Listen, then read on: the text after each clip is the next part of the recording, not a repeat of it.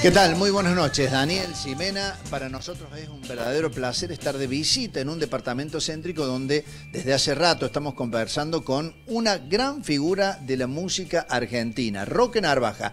Lo hemos escuchado desde que éramos chicos en Radio Universidad, lo hemos escuchado en todas las radios, lo hemos escuchado en los discos. Bueno, Roque, en Córdoba para una doble presentación, bueno, gracias por recibirnos eh, y bueno, imagino que entusiasmado con esta doble fecha aquí en Córdoba. Sí, por supuesto, siempre entusiasmado. Eh, estuvimos aquí en agosto pasado, quedó mucha gente afuera. Eh, eh, queremos resolver esto, queremos, queremos este, ser capaces de darle a la gente otra oportunidad, por eso dos fechas. Estamos mañana y pasado, viernes y sábado, a las 21 horas en el Teatro Ciudad de las Artes. Bueno, imagino que en ese gran repertorio que nosotros hemos escuchado, más eh, una, un último disco que has grabado creo que en el 2021, eh, se va a mezclar un poco todo eso, los viejos temas, los actuales, eh, estás componiendo algo nuevo, contanos un poco qué va a encontrar la gente mañana en la presentación. Bueno, va a encontrar lo de siempre, que es este compromiso, muchas ganas, buenos músicos. Yo formo parte de una banda, yo soy músico. nosotros somos una banda de rock que hacemos mis canciones. Por otro lado, eh, van a estar las canciones que, sabemos todos, van a estar las nuevas de Mar de la Tranquilidad, mi último trabajo.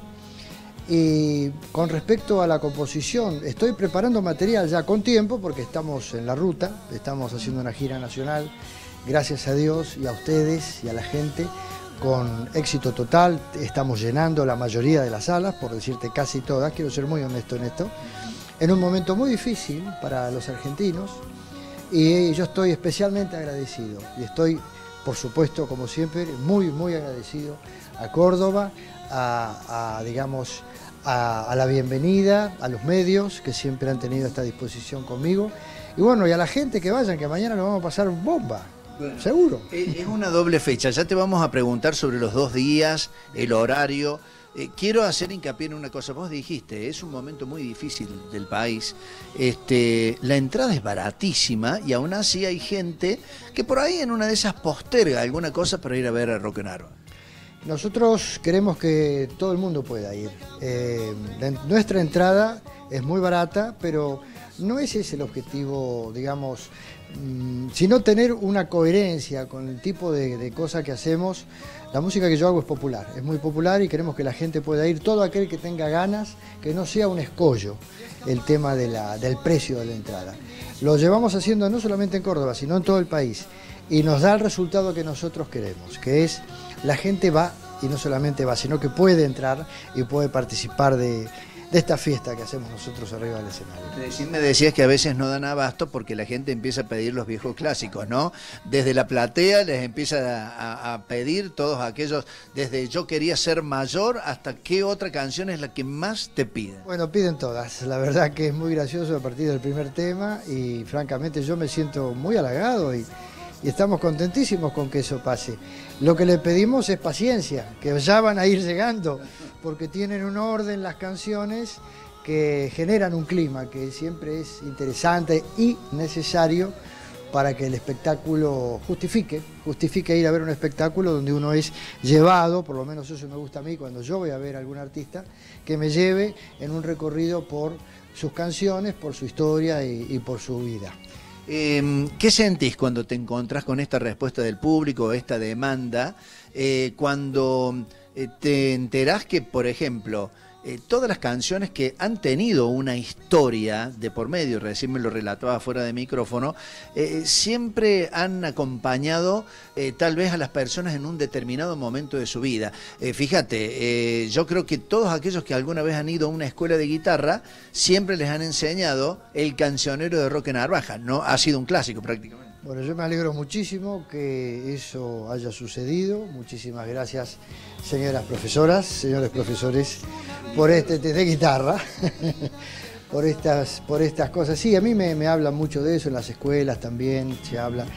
Pero bueno, eh, esto quiere decir que hemos tocado alguna nota, alguna fibra, que es importante para la gente. En mi caso, las canciones eh, en mi vida han sido importantes para vivir, no solamente para entretenerme o divertirme. Yo eh, recuerdo muchas canciones que me han ayudado a entender la vida y a tomar posición frente a diferentes causas importantes si las mías se han parecido un poco a eso, yo estoy muy agradecido. Y realmente creo que sí, que hay que por supuesto cantarlas a todas. Me hablaste de cómo componías cuando eras joven, en la época de la joven guardia, y cómo compones en la actualidad. Digo, me decías que hoy estás como un poco más relajado, sabiendo de que en una de esas no está el imperio de la industria mediando en todo eso y compones lo que tenés realmente ganas. Bueno, sí, hemos perdido, eh, digamos, aquellos, aquellas empresas que hacían tanto por nosotros desde la inversión, pero también a veces se equivocaban mucho artísticamente. Hoy es diferente, está todo en nuestras manos y básicamente, eh, como no tengo la urgencia de sacar canciones mm, una por mes, qué sé yo, antes sacábamos dos discos al año, dos discos grandes al año, es mucho tiempo, son muchas canciones y había que escribirlas y después había que seleccionarlas. Yo trabajo con muchísimo más relax, como decías vos, cuando tengo una idea, la, cultivo, la, veo, la dejo reposar como si fuera una masa, la dejo reposar como hacía la abuela con, los ñoquis, y después veo, después veo por dónde anda, porque la canción también tiene su propia personalidad, su propia vida, y me va diciendo cosas a mí, como cómo va a ser la letra, de qué se va a tratar y la música por dónde va a ir. Pero compongo, compongo y estoy preparando material para un próximo trabajo que seguramente a fin de año empezaremos. Y otra cosa que me decías hace un rato, eh, en un mundo tan vertiginoso, gobernado por las redes sociales, a veces un éxito dura horas este, y después pasó ante otro éxito que apareció en un mundo tan globalizado y en donde la música a veces gobierna en los corazones de las personas. Bueno, si, si es así, quiere decir que todavía tenemos alguna esperanza porque la música es importante para la vida eh, pero bueno, las redes, las redes son este, así de, de, Tienen su propia ley, digamos, ¿no? Todo es muy rápido ahora. Yo me alegro mucho que las canciones mías hayan durado 54 años y todavía, y todavía hay ganas de escucharla. Eso es magnífico, eso es fantástico. Bueno, eh, te agradecemos por habernos recibido aquí en este lugar. Estás en una vista privilegiada, privilegiada, no podemos decir dónde está, pero tiene una, una vista en un ventanal realmente hermoso. Roque, a esa, a la cámara, a Daniel Migani, a Ximena Salguín y a toda la gente que ve Canal 10, contales, ¿dónde los esperas? Mañana y el sábado de la noche, el horario, no vamos a decir el precio de las entradas, pero la invitación es especial. Claro, no, no Mis queridos, vamos a estar en el Teatro Ciudad de las Artes, Córdoba Capital. Viernes 14, sábado 15, 21 horas. Ahí los esperamos con nuestra banda y con todo el rock and roll que somos capaces de hacer. Ustedes. Qué lindo.